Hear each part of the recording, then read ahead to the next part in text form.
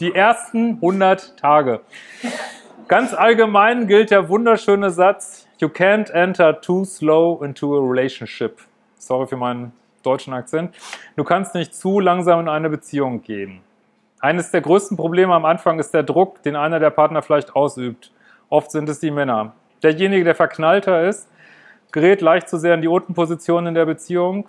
Der andere ist in der Obenposition und gibt das Tempo vor. Wenn du der Verliebtere bist, gib dem anderen Zeit, in seinem Tempo auf dich zuzukommen. Geduld ist eine der wichtigsten Eigenschaften dieser Zeit, insbesondere wenn du von deinen eigenen Gefühlen übermannt wirst. Lieber erst einmal etwas zurückhalten, aber das betrifft nur die Phasen, in denen ihr euch nicht seht. Auf einem Date kannst du auch mal Vollgas geben. Wenn du dich gut fühlst, gibt es keinen Grund, das nicht auszudrücken. Aber bitte nicht alle fünf Minuten. Ich hatte Paare, die sich Sex aufsparen wollten, zum Beispiel für die Ehe. Die Wirkung ist eine Katastrophe, ehrlich gesagt. Äh, erstmal findet man viel zu spät raus, ob man überhaupt zueinander passt. Äh, und dann versaut man sich den natürlichen Ablauf von Verführung und damit sein ganzes Sexleben. Also es ist okay, damit zu warten, aber irgendwie, irgendwann geht es beim Dating letztlich doch um Sex. Das nie zu tun, geht dann doch irgendwann gegen den Flow.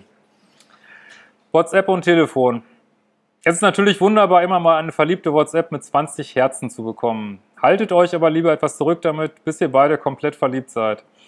Du kannst leicht eine noch frische Beziehung komplett kaputt texten. Insbesondere Männer, die am Tag 50 WhatsApp schreiben, am schlimmsten auch mit irgendeinem Angeberkram, Fotos vom Spiegel, hab gerade am Airport eingecheckt, gehe gerade ins Bad, äh, komm schnell komplett lächerlich rüber. äh, das gilt insbesondere, wenn du in der Untenposition bist und mehr willst. Ähm, als Mann musst du in der Regel nur die ersten zwei bis drei Dates initiieren. Ab dann kommt eigentlich die Frau meist auf dich zu. Wenn du eine Regel brauchst, probiere diese aus. Mach noch nie das erste Date schon auf dem aktuellen Date aus. Warte danach, bis die Frau sich irgendwo auf, auf irgendeine Weise meldet und mach dann sofort das nächste Date aus. Dann geh weg von WhatsApp und Telefon, aber antworte immer auf ihre Kontaktaufnahmen. Die Frau ist der Profi, was Bindungen schaffen angeht. Also in der weiblichen Polarität ist ja dieses Bindungen herstellen. Ein Auto kaufst oder verkaufst du auch nicht am Telefon. Die Beziehung wird über sich sehen vorangetrieben. Die Gefühle wachsen aber in der Zeit, wo mal Schweigen und Nichtsehen vorherrschen, besonders bei der Frau. Insofern verpasst du nichts, wenn du dich einen Tag oder ein paar Stunden mal nicht meldest. Du solltest aber nie eine Kontaktaufnahme komplett unbeantwortet lassen. Das tut nur unnötig weh wenn du eine WhatsApp schreibst, warte. Dating ist wie Tennis. Du spielst den Ball in das andere Feld und dann muss der Partner zurückspielen. Sonst spielst du irgendwann nur noch mit dir alleine.